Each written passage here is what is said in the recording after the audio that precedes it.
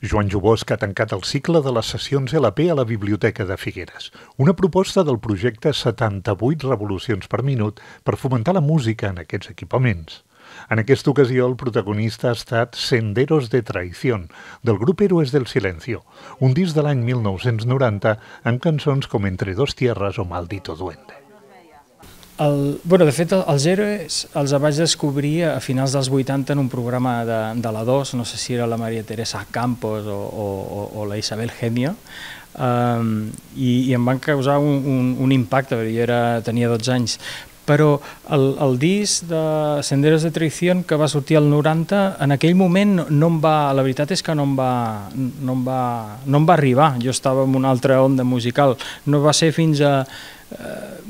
Mitjans dels 90, 96, 97, que, que, que el vaig escoltar a fons i vaig dir que, bueno, vaig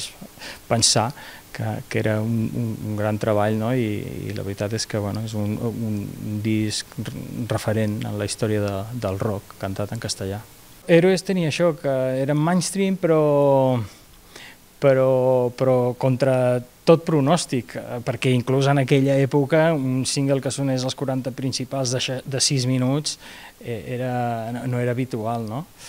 per no parlar ja de, de, de, dels temps actuals. Coincidint amb aquesta xerrada, fins al dia 14 d'abril, la biblioteca acull una exposició dedicada a Héroes del Silencio, que a principis dels anys 90 van actuar a Figueres i a la discoteca Fata de Sant Pere Pescador.